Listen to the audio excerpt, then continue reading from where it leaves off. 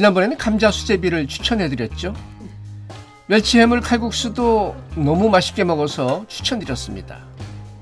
일본식 연어 덮밥과 연어 스테이크를 만들어 보겠습니다. 코스코에서 사지 말아야 되는 게 선크림이에요.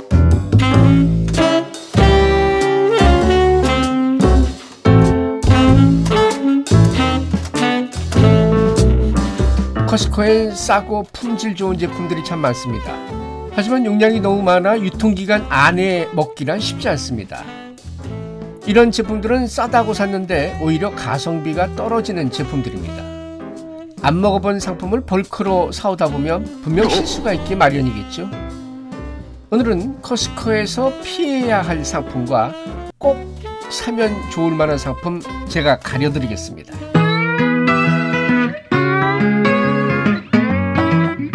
커스코엔 펫 관련 애견 제품들도 참 많습니다.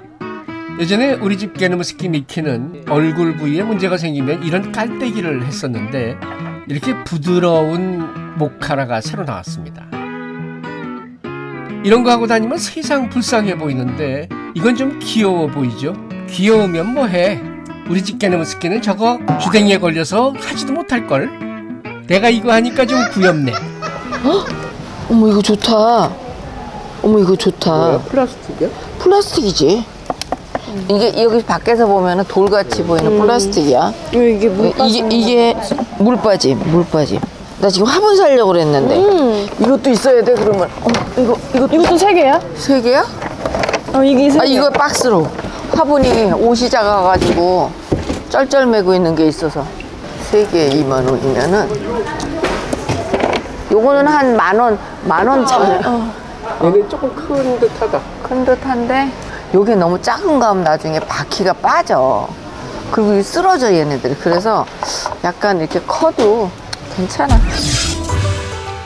아주 오랜 옛날 일본 여행을 가면 한국인이 가장 많이 사오는 제품 코끼리 밥솥 다음에는 일본 파스였습니다.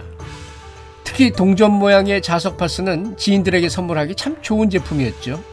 근육통, 어깨 결림, 특히 담이 들었을 때 이때 한두 개만 붙이면 금방 통증이 사라지는 경험을 많은 분들이 하셨을 겁니다. 이렇게 조그만 저기에 이렇게 자석이 딱 붙어 있어서 한 번 이제 떼고 나잖아? 그리고 우리 어머니 재활용하셔. 자석만 떼어가지고 다시 이런 테이프에다가 다시 붙여. 여러분들 일본 약국 가서 손짓발짓 하면서 파스 구다사이 파스 구다사이 이러지 마시고요. 코스코에서 구입하시면 되겠습니다. 동국제약에서 직수입했다고 하네요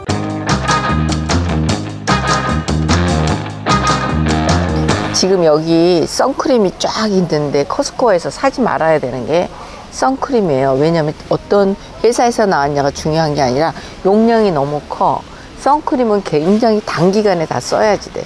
그래서 보통 어, 파는 게 한 30ml 단위로 파는데 그런 거를 쓰고 석 달 안에 어, 이걸 소비해야지 돼. 그렇지 않으면 이게 변화되고 또 피부에는 엄청 나빠져. 그래서 적은 용량을 써서 바로 버리고 또 작은 거를 또 따서 쓰고 이렇게 하시면 좋겠습니다. 아유 진작 말해주지. 이거 지금 3년째 쓰는 선크림이거든요. 내 얼굴이 왜 못생겨졌나 했더니 이놈 때문이었네. 아유 당장 버려. 야매주부.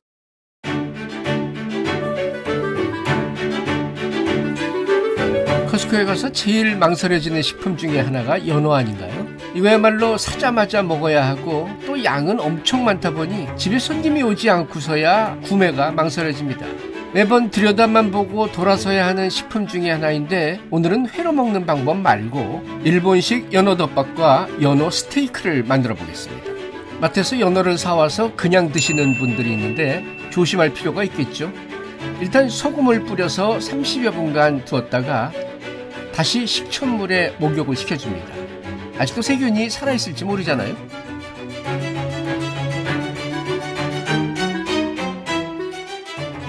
이제 연어를 보기 좋게 잘라줍니다.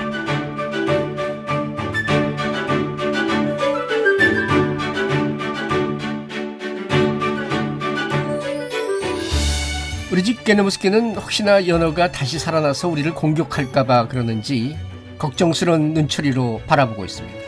우리 집 게노무스키의 본분이기도 하죠. 미리 준비해 놓은 양파를 깔고 간장을 살짝 뿌려줍니다. 간장은 일반 마트에서 구매한 일본식 간장입니다. 위에 연어를 가지런히 쌓아줍니다. 이제 모양을 잡아줘야 되겠죠? 파와 무순을 올려줍니다. 무순입니다. 순무 아닙니다. 그리고 통깨를 뿌리고 와사비를 얹어줍니다. 이 와사비가 제일 중요하죠?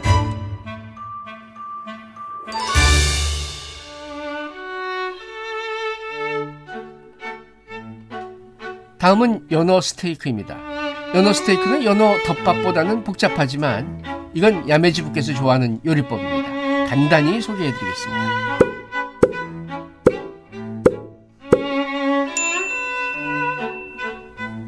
양파를 충분히 썰어줍니다. 충분히 썬 양파를 연어 밑에 깔아줍니다. 연어가 침대 위에 누워있는 모습으로요. 그리고 올리브오일과 후추, 소금을 뿌려줍니다.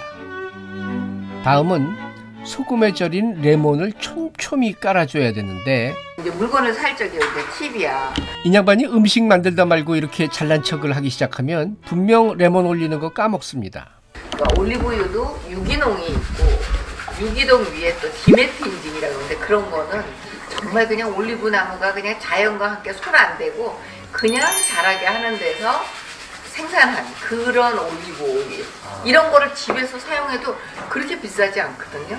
가능한 고급 올리브 오일을 잡수면 좋다. 이런 말씀이었습니다. 이봐 이봐 이봐.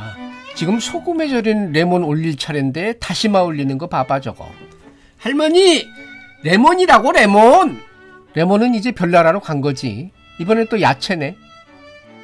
레몬을 깔으셔야 된다고요 레몬. 이건 아 깜빡했어. 이제 생각나셨네. 다 해놓고. 손님 봐. 이거 안 했네. 저거 안 했네. 이제서야 다시마 제 끼고 몰래 레몬을 올립니다. 여러분들은 꼭 기억하셨다가 다시마 깔기 전에 레몬 먼저 올려주시기 바랍니다. 제가 순서 다시 적어드릴 테니까 캡처하시기 바랍니다.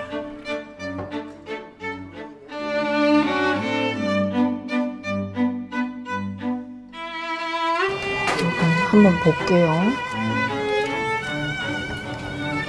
연어가 이렇게 익어 있어요.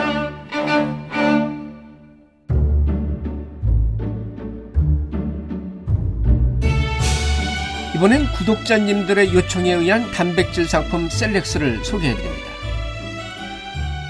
단백질에 관심 없으신 분들은 skip하시고 12분 쪽으로 가시죠. 뒤쪽에 정말 재미있는 영상이 있거든요. 작년 여름쯤인가요? 코어프로틴 락토프리 셀렉스를 소개해드렸는데요. 아마 그때 구매하시고 만족도가 높으셨는지 셀렉스 제품과 분리 유청 단백질에 대한 소개를 한 번 더 요청하셨습니다. 구독자님들께서 원하시면 해드려야죠. 제가 여러분께 오늘 소개드리고 싶은 거는 셀렉스 코어 프로틴 락토프리입니다. 자, 다이어트를 하는데 성공할 수 있는 거는요. 어, 지방을 빼는 것보다는 근육을 키우는 거라고 합니다. 자, 근육을 키우기 위해서는 무엇이 필요한가 하면은 단백질이 절대 필요하답니다. 중장년층은 다이어트를 걱정하지만 노년에 들어서는 근력이 떨어지면서 팔다리가 가늘어지는 현상이 일어납니다. 이건 역시 단백질 부족으로 근육량을 늘리지 못하기 때문인데요. 대한민국 노인 10명 중 7, 8명이 단백질 부족이라고 합니다. 나이가 들면 근육이 생성되는 속도보다 근육이 소실되는 속도가 더 빠르다고 합니다. 매일 쇠고기 혹은 돼지고기를 500g 이상 먹어줘야 필요한 단백질을 채울 수 있다는데요. 나이가 들면 소화력이 문제겠죠? 제가 이걸 먹기로 결정한 이유는 뭐냐? 국내 최초로 한국인 대사 인체 적용 시험을 완료했습니다. 대개들 우유 먹으면 배 아파하는데 이거는 유당과 지방을 완전히 분리했습니다.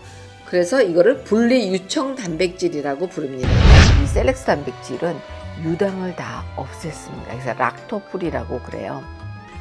저는 그냥 물이나 아몬드 우유에 타서 마셔도 충분히 먹을 만한데 야매주부께서는 다른 방법으로 마신다고 합니다.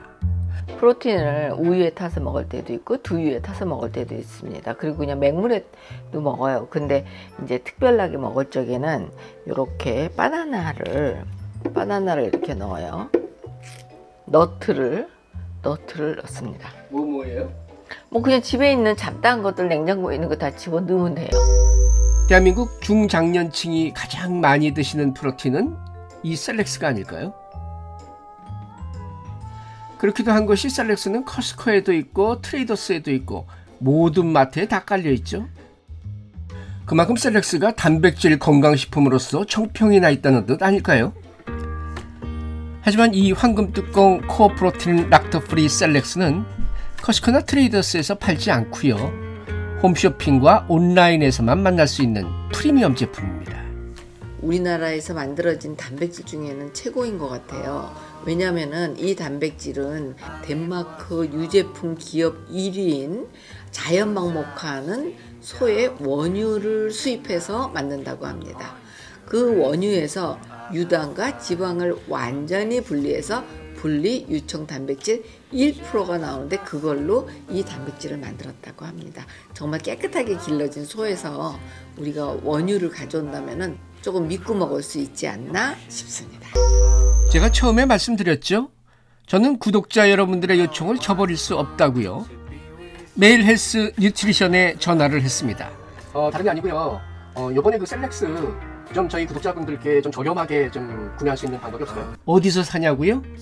요 밑에 더보기란을 클릭하시면 셀렉스 링크 URL을 만날 수 있습니다. 야매주부 이렇게 커다란 냄비를 우리는 곰솥이라고 부르죠. 남편 두고 와이프가 여행 떠나면 곰국을 잔뜩 끓여놓고 가야 하니까 이 냄비가 필요합니다. 가격은 58,900원이고요. 그런데 이 솥에는 또 다른 기능이 있습니다. 이거 얼굴 대빵 커지는 거 아니니? 난 멀리 있어야지. 보여? 이마 커지기. 그거 그거 뭐지? 무슨 앱이지? 코 커지고 이 커지고 이러는 거. 재밌죠? 우울할 때 한번 해보시죠. 58,900원 내시고. 펭귄처럼 생긴 레몬 착지기가 새로 나왔습니다. 커스코에는 레몬을 참 싸게 팔거든요. 고모는 이거를 매일 아침마다 드신다. 그런데 한국 분들은 레몬 먹는 습관이 잘 안 들어있죠. 지난번에도 제가 레몬이 참 좋다고 말씀드린 적이 있었는데 레몬은 과일 중에 가장 많은 가장 좋은 성분들이 들어있는 최고의 먹거리입니다. 여러분들 이거 캡처하시죠? 아침 공복에 드시는 것이 좋다고 하고요. 한 번 마실 때 레몬 반 개 정도가 적당하다고 합니다. 저 아침에 드실 적에는요 찬물에다 드시지 마시고 뜨거운 물 3분의 1컵 그리고 나머지를 보통 온도의 물을 넣으시고 합쳐서 미지근한 물에다가 순서는 찬물을 먼저 붓고 다음에 뜨거운 물을 붓습니다. 혹시 이번 연도부터 레몬 습관 들여보실 분 구매 추천드립니다.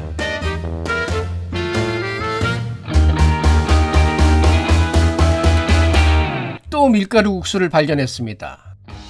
지난번에는 감자 수제비를 추천해드렸죠. 멸치 해물 칼국수도 너무 맛있게 먹어서 추천드렸습니다. 어찌 보면 개인적인 취향이라 모든 분들이 맛있다고 할 수는 없겠지만 이번에 남해 멸치 칼제비라는 것이 나왔습니다. 남해 하면 생각나는 사람이 있는데 그렇다고 인양반이 만든 건 아니고요. 일단 먹어봐야 되겠죠. 이거 참 밀가루 음식 끊어보려고 하는데 커스코가 돕지를 않습니다. 마약 같은 밀가루 음식 또 먹어봤는데 지난번 멸치 해물 칼국수는 냉장고에 굴러다니는 야채를 이것저것 넣어서 그랬는지 몰라도 엄청 맛있게 먹었거든요. 그리고 생각해보니까 첨가해서 먹으면 뭐는 안 맛있을까 해서 이번에는 순수히 스프만 넣어서 먹고 리뷰하는 것으로 결정했습니다. 그랬더니 음, 맛이 좀 짜네요. 멸치 냄새는 나는데 깊은 맛은 나지 않습니다. 짠기가 먼저 느껴지거든요. 근데 먹어보면 짜진 않은데 혀에 닿는 순간 약간 짠가 이렇게 지난번처럼 야채를 넣어서 먹으면 어떨까? 요건 조금 아쉽습니다. 감자라도 썰어서 넣었으면 좀 달라졌을까요? 나중에 야채 듬뿍 넣고 다시 한번 리뷰해드리겠습니다. 그때까지는 비추천입니다. 아 뜨거.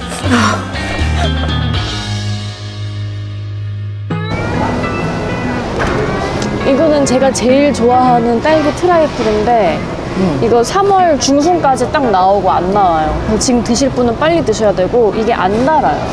생각보다 안 달고 이 생크림도 하나도 안 느끼하고 그냥 우유 생크림인데 이거 보시면 사셔야 되는 거예요. 난 걸려들기가 싫어. 맛있을 것 같아. 너무 맛있어요. 그래서 그러니까요. 매년 기다려요. 이거 나오자마자 아. 사고 코스코에서 저렴이 버전 사운드바를 발견했습니다. 제가 지난번에 야마하 사운드바를 여러분들께 소개해드렸죠. 저는 지금까지 아주 만족하며 들 때마다 감탄하면서 이걸 왜 이제서야 아는 거야? 이게 더 싸네? 너 그때 15만 원 얼마 주고 사지 않았어? 19만 원 얼마 줬어? 가격이 야마하 가격의 반도 안 되는 가격입니다. 뭐가 다를까? 소리가 달라. 이거는 그냥 일반 스피커 사운드고 집에 있는 건 진짜 영화관 같은 서라운드식으로 막 네, 나와? 그래요. 소리는 크게 들리는데 왜 그런 거 있죠? 노래는 못하는데 소리만 큰 아저씨가 내 귀에다가 막 노래 불러주는 그런 느낌? 내 거친 생각과 불안한 눈빛과